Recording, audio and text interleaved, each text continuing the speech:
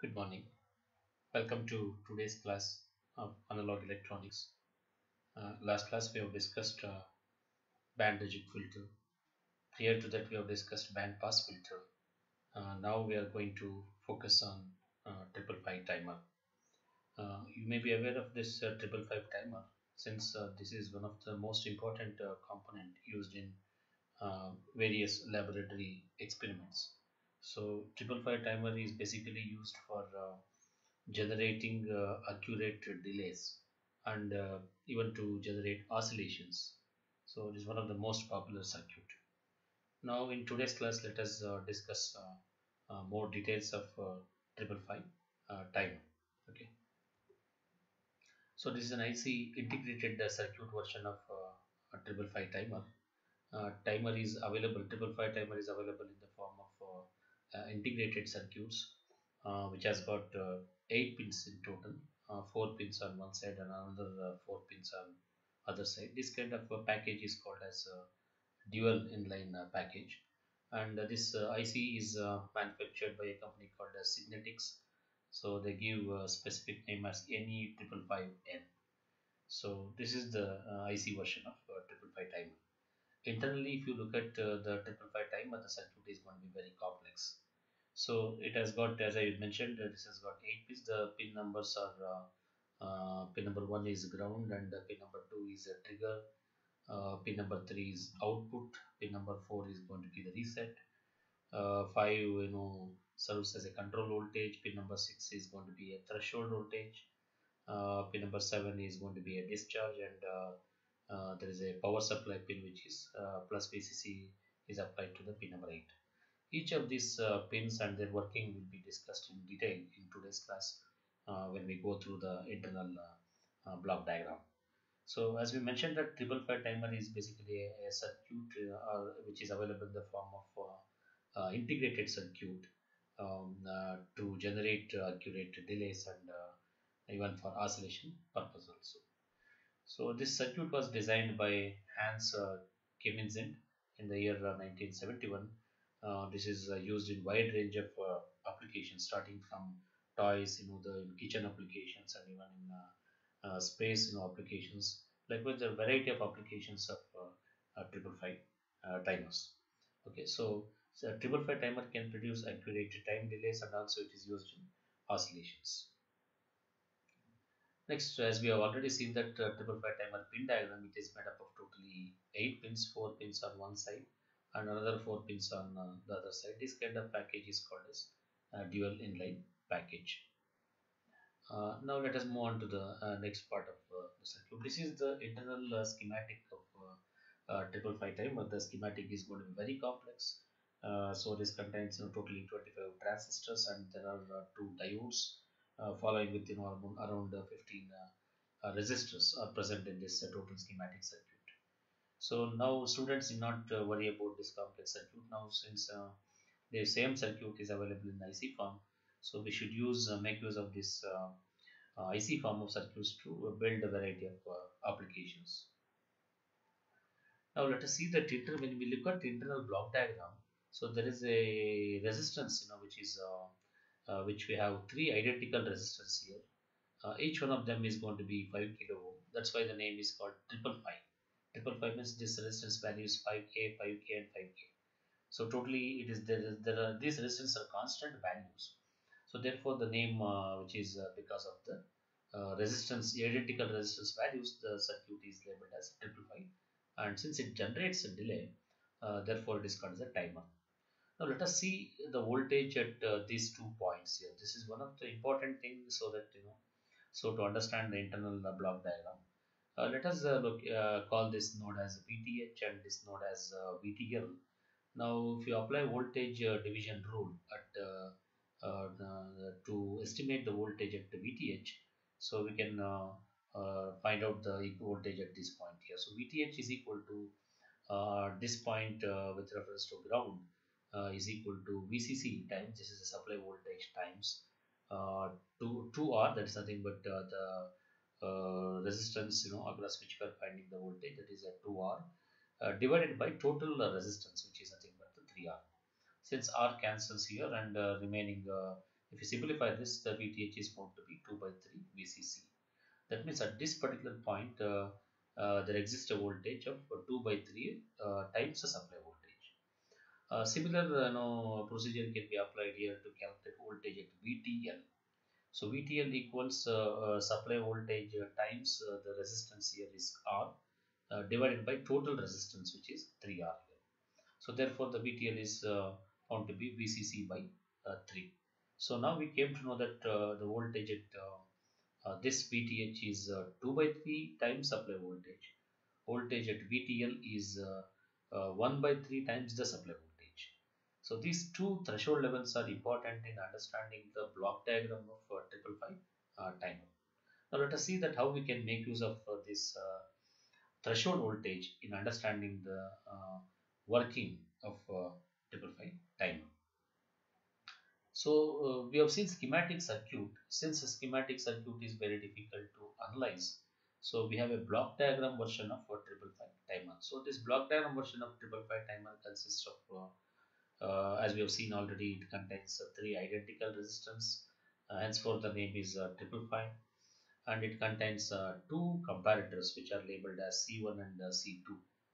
And the input voltages also we can see here where uh, which is uh, for one of this is uh, 2 by 3 VCC which comes from here from the resistance here for comparator 2 the non-inverting input comes from 1 by 3 VCC here so the internal block diagram contains you know the two comparators uh, followed by it has got a RS flip-flop. In the last class, we have seen uh, the working of uh, RS flip-flop.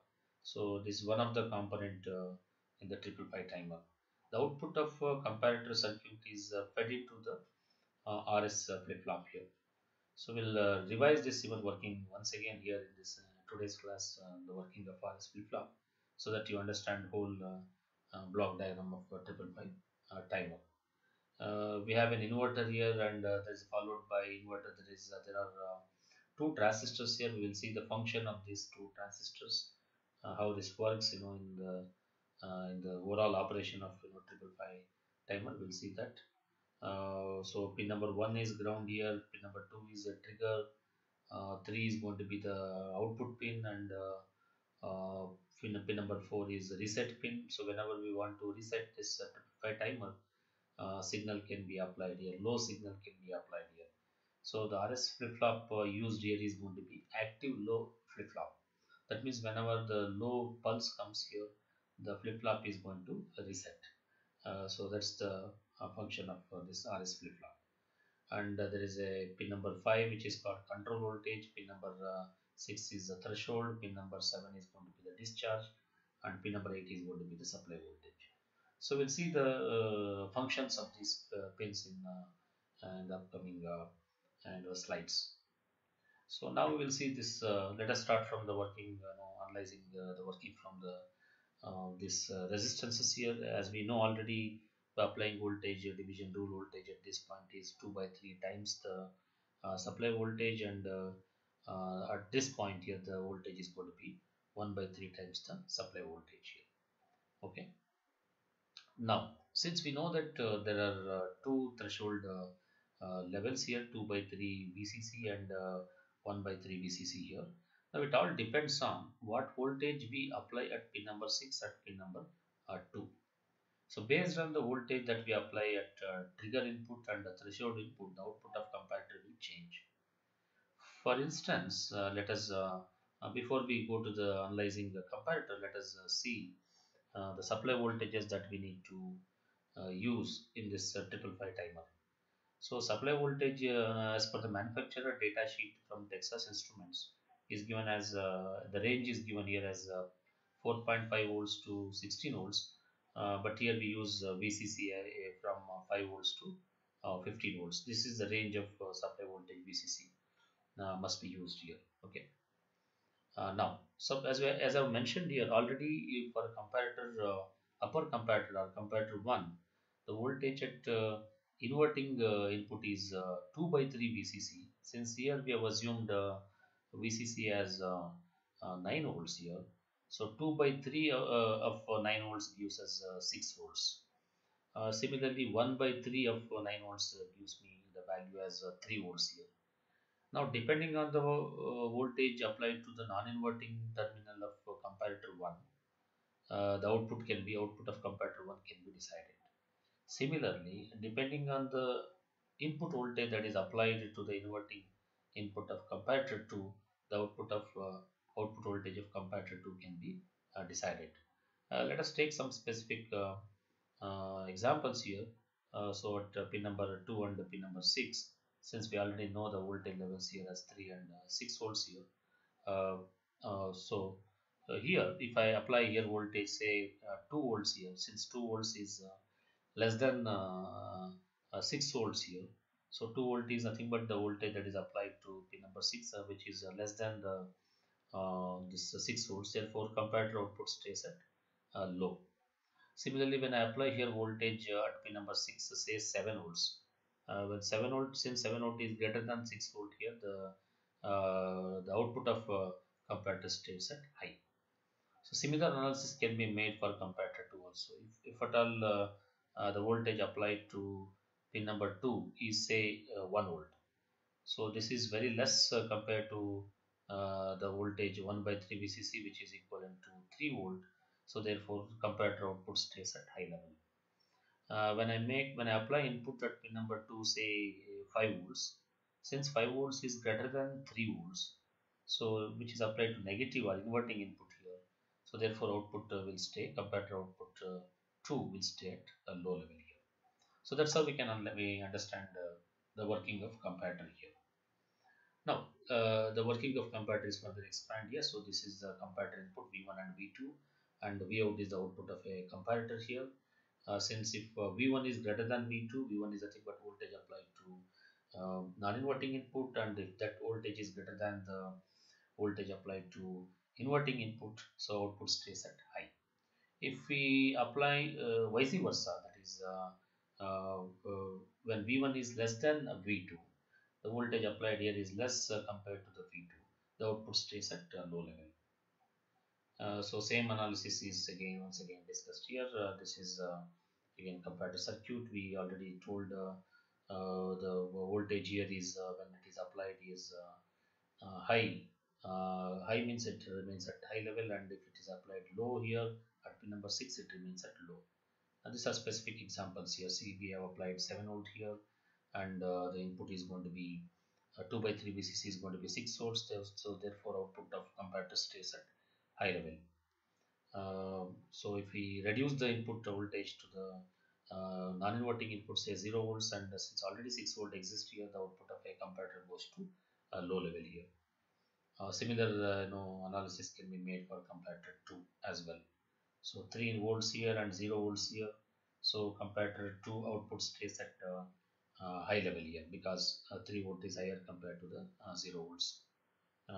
When we apply 3 volts here and 6 volts here therefore comparator output stays at a low level here having understood the, the comparator you know the how it changes output voltage here now you can see that the output of a comparator goes to the uh, flip-flop here. Uh, flip-flop is RS flip-flop, we use it here and uh, since uh, flip-flop has got two outputs here, uh, in this internal uh, schematic we use only the Q bar output, we don't use here. Uh, normal or normal output of uh, normal or Q output uh, of this RS flip-flop here. So this is the internal circuit diagram of triple five timer here. Let us see the RS flip-flop how it works though we have uh, discussed this in uh, last class so here it's very important to understand uh, the working of SR flip-flop or RS flip-flop before we um, move on to the other details of triple five timer see we have an S input here this is called set input and R is called reset input of, for the RS flip-flop. So when uh, both of them are low when set input is low and the reset input is low uh, so the, the, the flip-flop continues in the previous state. So suppose if the previous state is high and low the uh, the previous it continues in the previous state itself.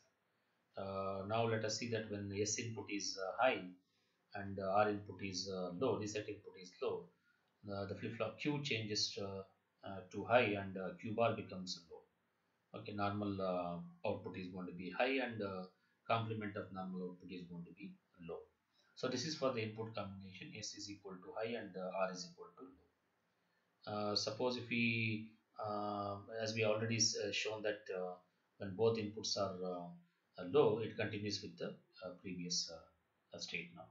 Suppose if you want to reset the flip-flop, then in such case we need to apply reset input as high and the set input as low. So then output will be changed accordingly. So uh, since we applied reset input as high, Q becomes low and Q bar uh, complement of uh, this Q which, which becomes high in this case. So this is called resetting the uh, flip-flop. Previously we have set the flip-flop and we have seen no change condition. Uh, right now we are observing the um, uh, reset condition of a flip-flop. Okay. So uh, both low means again uh, as we said already it remains in the uh, no change condition here. both 1 1 is not advisable to apply because flip-flop enters into the invalid condition. though So therefore both 1 and 1 is so one should avoid you know applying both S and R input as both of them as high okay so as I mentioned here the in a triple five timer uh, we don't use both uh, normal and uh, uh, complemented output here we use only the complement output here so you will see that how this is uh, the, the, input data for this comes from the uh, comparators so here we have a comparator 1 and comparator 2 here and this goes to the output and as well as other transistor components in the triple five timer. So now let us see the working of uh, this uh, total overall uh, uh, the triple five timer here. So we have here pin number two. This is uh, one of the input that we call as a trigger input here. Another input what we have is uh, threshold input here. So depending on this uh, two uh, inputs here, the output of uh, comparator changes, and since comparator output is the input for the flip-flop so the flip-flop output also changes depending on the input here. So now let us see the first condition here when pin number 6 and pin number 2. So both are low. So pin number 2 is a low voltage which is 0 volt is applied here and uh, uh, pin number uh, is here already the existing voltage here is uh, 1 by 3 VCC which is uh, 3 volt here. So therefore this voltage is less uh, compared to this. So output of comparator 2 is high.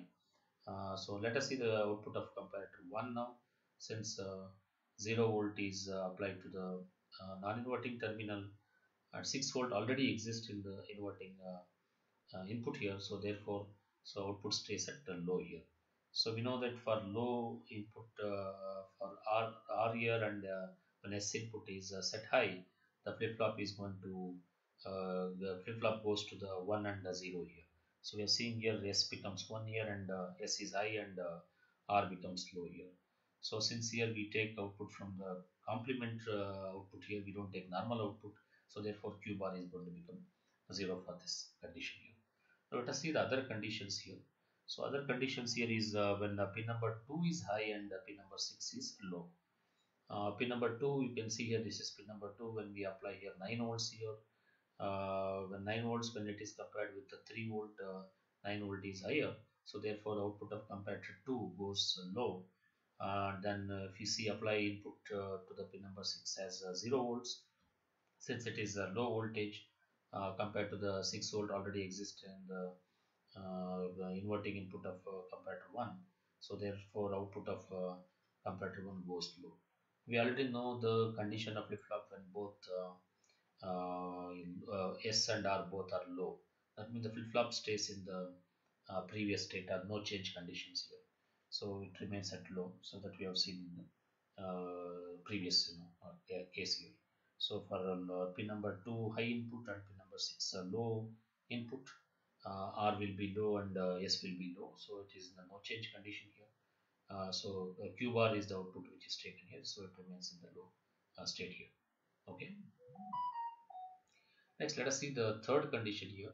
When pin number 2 is uh, made uh, high here in this case and uh, the number 6 also it is made high. So 9 volts we apply here and 9 volts for the pin number 6 for this both the conditions we can see the output of comparator 1 becomes high and the comparator output 2 becomes low uh, for this resets the flip-flop so therefore uh, uh, this q bar becomes high here so q bar is nothing but the output of this s and r becomes uh, S is going to be low and R is going to be high in this case. So, so flip-flop is going to reset and Q bar becomes high in this case.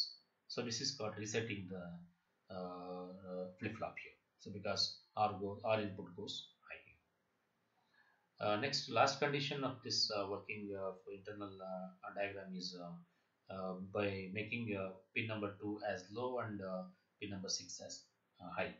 When you apply this condition to the comparators, so obviously since pin number 2 is low, so the comparator 2 output goes high. since um, pin number 6 is high, uh, compared to one output goes uh, high. So when the both the conditions are high this is actually invalid or prohibited state. We are not supposed to operate uh, the flip-flop in these conditions. We have to ensure that the triple five timer we, we, we should not apply uh, pin number 6 with high and uh, pin number 2 with low. If we apply this uh, kind of you know the inputs since a flip-flop enters into the invalid so unambiguous you know the output uh, we will get from the uh, triple five timer. So these uh, states are not suggested for the designers for the users to apply here. so let's see the other you know the uh, details uh, which we have left out apart from uh, pin number 2 and pin number 6 so we have here the circuit you know the resetting circuit here which you can see here the pin number 4 that resets the Uh, flip-flop here so in normal condition, we can see here the switch is uh, uh, open here. When switch is open here, this is uh, high voltage uh, that goes to the uh, Q2 transistor here. Since base of Q2 is high, this transistor is turned on. When transistor Q2 turns on here, the VCC here goes to the flip-flop chip select here. So since it is active low, uh, so the flip-flop uh, uh, will not get reset because high signal is coming here so therefore flip-flop will not get reset. So this is about reset pin here. Suppose in case if we press the switch here uh, this is normal condition what we've shown here. Normal condition the sense when the, the VCC is uh, goes here and the Q2 is on uh, that VCC is given to the flip-flop but therefore the flip-flop is uh, the reset pin of flip-flop is uh, disabled, the flip-flop will work as a, in a normal mode. So now when we press the switch here now let us see what happens here. So when we press this uh, reset pin here the high voltage here goes to the ground here. so there is no sufficient voltage for the transistor Q2 since there is no sufficient voltage for Q2 so so the Q2 will be in off condition uh, so Q2 is in off condition therefore this supply voltage is disconnected uh, uh, from the reset uh, pin here. So therefore this uh, goes low here so the flip-flop gets uh, reset here. So so all inputs which is coming here will be overridden by this uh, reset pin here. So this is the working of the reset pin which is nothing but pin number 4 of triple five timer here. So since once it is reset here so uh, Uh, this becomes a 0, uh, Q becomes 0 and Q bar becomes 1 here. So when Q bar becomes 1 here, the output uh, pin uh, 3 output becomes low. Uh, now let us see the uh, the last uh, pin of uh, this circuit here, which is nothing but the discharge pin here. So, so the discharge pin here, we can see that there is a connection from the output of flip-flop goes to the Q1 transistor and this Q1 transistor, the input is coming from this uh, capacitor and that goes to the ground here. Now let us see analyze the working of this, you know, how this uh, discharge happens in this uh, circuit. We're not going to discuss here with any specific applications, but this pin number 7 operations, 7 operation can be better understood if we pick up you know, a couple of applications such as monostable multivibrator or uh, stable multivibrator. These are the applications that we can build it uh, build with the help of uh, triple five timer here. Okay, so now here we are discussing just uh, pin details here. So actual applications we'll study when we uh, when we develop you know uh, when we convert this when we use this uh, triple timer for uh, uh, monostable or astable multivibrator applications. Now let us see that what happens when the for this particular conditions here. So here we assume that output is going to be high and since output is going to be high the complement of that will be at the input definitely. So that will be low here. uh, for low input here uh, so Q1 transistor will be off. It will remain in the off condition here. So once it is off here the ground will be disconnected uh, from this uh, point here. So the capacitor will uh, completely gets charged okay from because supply is connected to the uh, capacitor. So C1 will get uh, charged here. So the charging is uh, shown here. The capacitor gets charged. It can charge up to the uh, VCC here okay. It's getting charged. That's what the status is shown here. uh, when the output condition is high and uh, the flip-flop output is going to be low transistor is off or the transistor off capacitor gets uh, charged. And now let us see for uh, what happens when the uh, output uh, is assumed in opposite okay? So when the output is going to be low so complement of this will exist uh, at the output of flip-flop which is high. So when the high input exists at the input of an inverter so that uh, turns on this uh, Q1 transistor. When Q1 transistor turns on the ground is uh, connected to this capacitor.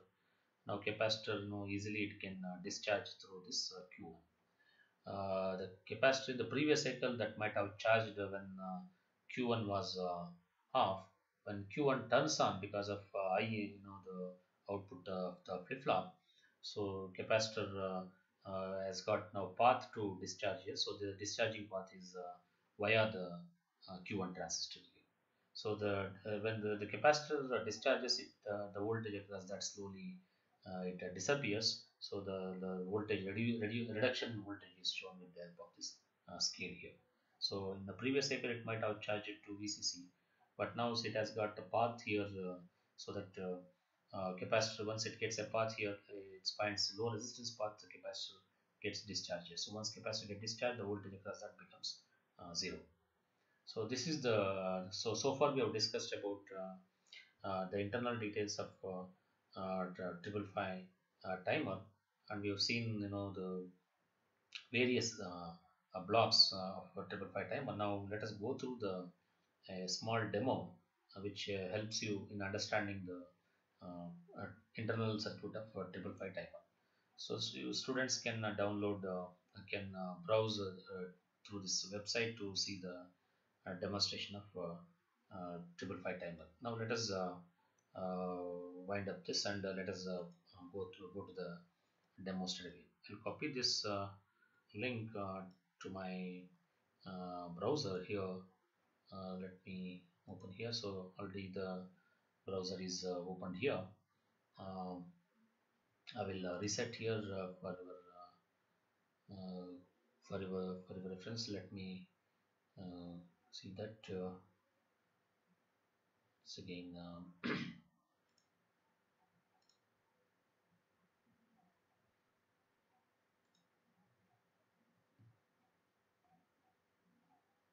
this is uh, some other circuit. Now let me pick up go to the uh, triple five timer uh, circuit. And here let me uh, look at internal diagram. So this is the internal diagram of Uh, triple five timer. As we already seen in uh, our discussion triple five timer is made up of three uh, resistors here. I'll just reset this or stop this working before uh, that I'll uh, explain here uh, what we have discussed so far. So this is a 5 kilo ohm resistor. We have three number here and we have here 2 by 3 VCC and 1 by 3 VCC exist here. So these are the two comparators here. The comparator output goes to the flip-flop here the gate version of flip-flops are shown here. So we can see here the, the output of uh, one NAND gate is uh, an input for other NAND gate. It is a cross coupled uh, uh, NAND gates you know, we can see here. So the uh, we take output from the uh, complementary uh, complement output from the flip-flop. So here we have an output here. And uh, you can see the other uh, part here which goes the, to the this part goes to the uh, uh transistor here so whenever the transistor turns on here it will get uh, discharged. It gets a path like this. Via this? And it gets uh, discharged here. And we have a trigger circuit also which is shown here. And there's a capacitor here external capacitor which is shown here. This is whole uh, circuit represents the internal diagram of a timer. Let me run and show this uh, uh, the demonstration of this. We can see that the current starts flowing through the 5 kilo ohm resistor here and so whenever we apply here trigger uh, so uh, I have not explained in detail about trigger as we will pick up that in the when we discuss applications like astable and monostable multi-vibrator applications here. so here already we said that so 2 by 3 VCC exists here. If you want to change uh, uh, the uh, output of a comparator, so the external trigger pulse can be applied here. So for that refer the purpose of this triggering input is given here. Okay. So here also whenever the certain threshold when the capacitor when the when the transistor when the, the when this capacitor is discharged in, so when the voltage across capacitor when it is getting charged here when the voltage across capacitor uh, builds up so when it is greater than the uh, the voltage at other point here so the, the comparator output uh, will change its state here okay. So threshold is basically it observes it monitors the voltage across the capacitor okay. So these details of this uh, threshold uh, trigger and discharge can be better understand uh, when we um, uh, pick up the important applications of um, triple five timer here. So with this we have come to an end and in the next class, we'll uh, discuss about uh, uh, various modes of operation of triple five timer. particularly the as per our syllabus, we have monostable multivibrator and astable multivibrator. So these are the two applications we are going to discuss as per our uh, syllabus here. So with this, uh, we have uh, come to an end of today's class. so so next class we will pick up those the monostable and astable multivibrator circuits here. Uh, thank you all for listening to my lecture.